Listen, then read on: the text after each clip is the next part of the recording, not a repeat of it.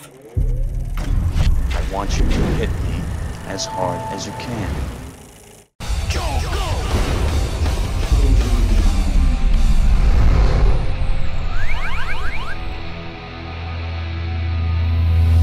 Boy, for a group of superheroes as popular as the Fantastic Four are, Hollywood sure can find a good movie to build around them, can they? The first time they tried, the movie never got released. The second time they tried, well, we'll get to that in a sec. But now, for the third and maybe final time, Chronicle director Josh Trank has released his take on the Fantastic Four. And the reviews for it are so bad that even its director is saying on Twitter that it is a piece of shit. Yeah, but it's hard for me to believe that there will be anything worse than the dynamic duo of garbage that are the two Fantastic Four movies from director Tim Story. And today we're looking at the 2007 sequel which prompted this franchise to get re-rebooted, Rise of the Silver Surfer. The first time I saw this one in the theater, I was convinced it was the worst superhero movie I'd ever seen. Worse than Batman and Robin. Yeah, I know. Strong words, right? But eight years have passed since then, so maybe if I rewatch this flick with a more mature viewpoint and keep things in hindsight, we may have our hands on an unacknowledged superhero classic. And it's executive produced by the director of Pixels. We're fucked!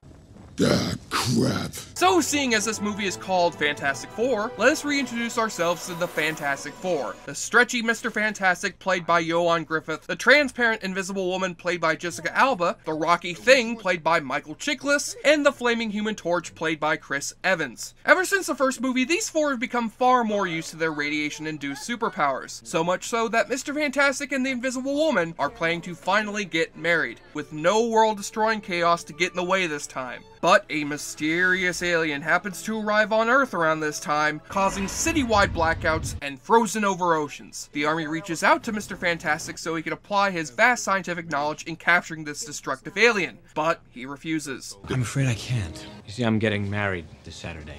Just don't have the time. Now that is a sign of a great superhero. Ignoring a threat to life as we know it because your whiny ass fiance wants to get married. Oh, and because you also have a bachelor party to attend, a scene which will go down in history as one of the most painful moments in the history of superhero movies. I can't believe I'm saying this, but I'd rather be watching Spider-Man 3 right now.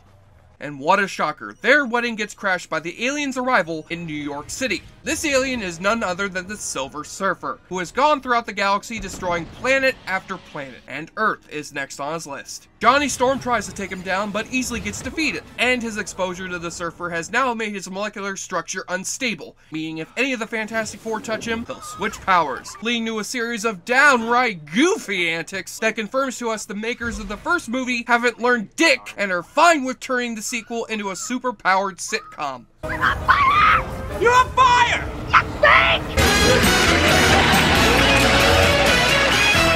But still, the movie tries to delve into more serious territory when the villainous Doctor Doom, played by Julian McMahon, escapes from captivity and is hired by the army to help the Fantastic Four defeat the Surfer. But as inconsistent as the tone is in this movie, there is one thing tying the whole flick together. The Fantastic Four being terrible at their job. They bicker and bitch and moan all the goddamn time when they should be out kicking ass and saving the world. What the hell is wrong with you people? Thank you, Andre Braugher. Thank you.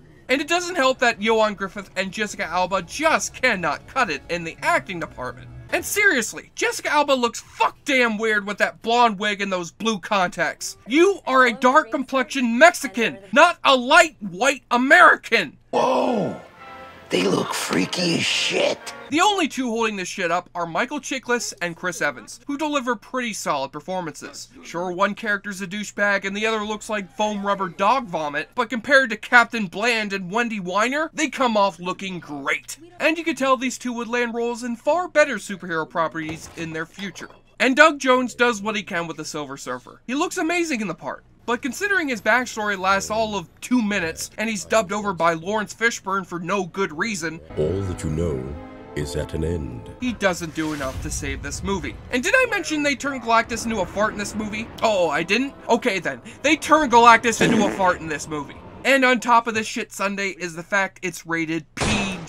Now, don't get me wrong, I'm down for a more lighthearted superhero movie for kids when it's called The Incredibles. But this shit is just emblematic of the worst attitude Hollywood takes towards superhero movies. They're based on comic books. They're strictly for kids. Well, they're not. So you can shove that argument back up your ass where it belongs and take this movie with you. So is it worse than Batman and Robin? Well, I won't dare dignify this movie with such a distinction, but it is up there. But if people are to be believed, this is at least a better Fantastic Four flick than the one which is in theaters now. Man, 20th Century Fox, three times to get this franchise right, and you fucked them all up! I just have to ask you guys, What the hell is wrong with you people? it's clobbering time! By that I mean, it's time to clobber down several glasses of your booze of choice so you can play the awfully good drinking game!